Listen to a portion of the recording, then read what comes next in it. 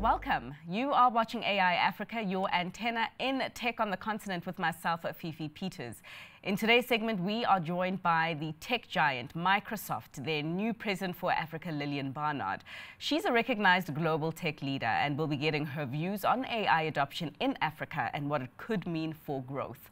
Feel free, as always, to share your uh, thoughts with us on X using the hashtag AIAfrica. And if you have missed any of the latest trends in AI this week, don't worry, we do have you covered. In fact, Gamo's got you covered. She's standing by with those details. Gamo, what is trending? Thanks, Fifi. And here's a wrap of what's trending in AI in the global landscape. US tech giants have garnered an impressive 2.4 trillion to their market capitalizations over the past year. This due to an increased interest in generative artificial intelligence, according to a new report from venture capital firm Accel. In the firm's annual Euroscape report, the share price values of big technology firms such as Apple, Microsoft, Alphabet, Amazon and Nvidia rose by an average of 36% year over year. For more news on the continent, it's over to AI Africa's latest news correspondent, Chanel AI, to wrap up today's bulletin.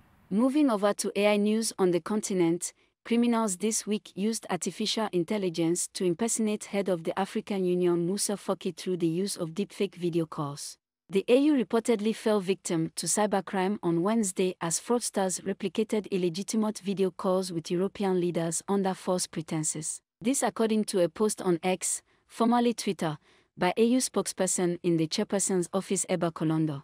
And finally, South Africa's Competition Commission announced on Tuesday an official probe on whether artificial intelligence models, digital and social media platforms in the country managed by companies including Google and Facebook are limiting the country's news and media companies' ability to generate revenue. The independent statutory body says it will investigate market features that allegedly distort competition for advertising revenue between news media or digital platforms. And that's all from me. It's over to you, Fifi. Now, Microsoft has embarked on a five-year plan in Africa to build digital assets and capabilities in 10 million small and medium-sized enterprises. The plan also entails supporting 10,000 startups with the capacity needed to scale and providing digital skills to 30 million Africans. To discuss how this plan is being actioned, we're joined by Microsoft's President for Africa, Lillian Barnard. Lillian, thanks so much for your time, ma'am. Uh, first of all, I'd like to congratulate you on your role role. I think it's a pretty big deal. Uh, it's around four months into uh, the role as, as per my research. But I'd just like to understand what is top of mind in terms of your agenda as you look at technology and the advancement of technology in Africa. Thank you, and it's just fantastic to be here with you. And uh, thank you so much for congratulating me. We are, of course, super excited about our new mandate, and it, it is the first time that Microsoft actually has put the continent together, even though we have been operating in the continent for more than 30 years. And in Africa right now, we are really focusing on creating an inclusive digital economic environment. And we are doing that by making sure that we empower Africans with the right tools and capabilities. We really want to make sure that everybody benefits from the latest tech advancements, cloud and AI. And you've already mentioned the numbers. Uh, we are making significant investments in skills and tools. Um, for example, our partnership with the African Development Bank is focusing on 50 million youth. We're also focusing on 50 million Africans. But at the same time, as much as we're doing all of the skilling and upskilling, we're also focusing on employability because it ultimately is about jobs capacity building for us is super key. And uh, I'm not sure if many people do know, but we have development centers across the continent in Kenya, in Lagos, as well as in Egypt, Lagos, Nigeria. And the purpose of these development centers are for us really to focus on growing our engineering and developer talent because we truly want to fast track, we want to grow, and we want to enhance African tech talent. Now, you've mentioned already about um, SMEs and uh, small medium enterprises are super important. And we are making several, you know, our investments. We are focusing on capacity building. We are helping them with access to market because we know often that is a very big challenge. We may also making sure we're giving them the needed infrastructure so that we can enable them to innovate and also ultimately accelerate their own innovation because you know the stats for SMEs across the continent are very clear. 90% of businesses, um, you know, on in sub-Saharan Africa are SMEs. Uh, these businesses are contributing to the tune of 40% of GDPs in emerging markets, and therefore we want to make sure that we play a critical role in accelerating economic development, serving the unmet needs of our African markets. I want to circle back to the points that you were making around the investments you have made uh, in the uh, time you've been on the continent, around three decades, in cloud, but specifically artificial intelligence. Just given that it is the buzzword uh, right now and everybody's talking about it and everybody wants to know about it. As it does pertain to AI, uh, what are you seeing uh, on the continent about adoption uh, from large enterprises who you service and also from some of the small to medium enterprises who you are focusing on helping to grow? So Africa, very similar to the world, right? There's an AI buzz going on, and we are at an inflection point. Uh, the AI breakthroughs that we are seeing today, it's going to change, augment how people live, work, and play across the continent, globally, and for many years to come. And we are just excited that Africa can participate. Now, as Microsoft, we are optimistic about the future of AI. It is here. I remember already five years ago, I started saying to customers that, you know, AI is going to become, you know, um, the greatest technology and most defining technology of our time. But as much as we are excited, uh, we want to make sure that as a company, we remain grounded, uh, responsible, and cautious about how this technology is used. Now, if you look at sub-Saharan Africa, even though um, if you look at the readiness overall, the score may be the lowest, but we are seeing some companies are super brave, right? They are already starting to deploy it in their businesses to make sure that they derive value from it. And this actually emerged in the forms of new products that we are seeing, new services, the focusing on driving more efficient operations, but also making sure that people understand how to use this technology to augment what they can do. Now, of course, it is a prevailing belief that AI is a very powerful tool and it will enable people to achieve greater productivity, growth, innovation, satisfaction, and just so much more.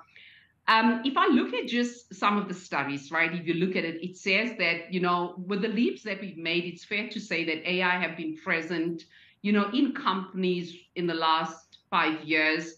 I think it has come a little bit more to the fore, you know, with tools such as ChatGPT. And I think ChatGPT has made it a bit more democratized, pervasive, and far more tangible. But two thirds of companies, in fact, have been deploying AI technology. 75% are investing in it to help them with their processes and their systems. And in fact, um, one Microsoft survey is actually finding that uh, some companies in Africa and as well as the Middle East, you know, are classed as AI pros. Because if you really want to make progress um, in AI, you literally have to formalize this in your overall company strategy. You know, you can't treat this as a standalone project. And I'm quite a big proponent of it that you need to embed AI in your strategy, especially if you want to derive true and long term value from it.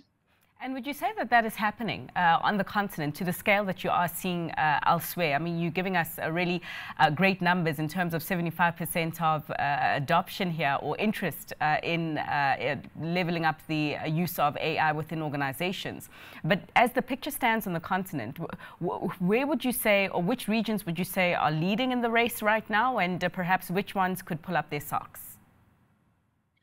Would say, Fifi, we have pockets of excellence. I mean, we are doing a whole lot of projects with, uh, you know, companies uh, in South Africa, and um, you know, our private sector is very brave. You know, there's also projects happening in government, and in fact, I am just recently back uh, back from Egypt, and this is, in fact, this is a very present conversation. Um, I was quite honored to be keynote speaker um, at the American Chamber of Commerce Forum uh, with CEOs just to talk about the impact of AI and the readiness and just what's happening around connectivity. So the appetite is there. You know, Africa is ready. If I think of some of the conversations we're having with our customers in Kenya, they are eager to put their hands on this technology because they understand what they can derive from it. And in fact, I'm on my way actually to Nigeria and uh, meeting a few customers in Lagos. And we're looking forward. In fact, this is going to be the topic of discussion in terms of what can you get from AI, what can you derive from it, what it could do from your business, because that is the interest that our customers are having. Because if you think about it, what is AI? It is centering around giving them the ability to accelerate, the ability to innovate, the ability to be more competitive. So for me, as the leader of Microsoft in Africa, I'm just excited about the possibility that this technology is bringing to the continent.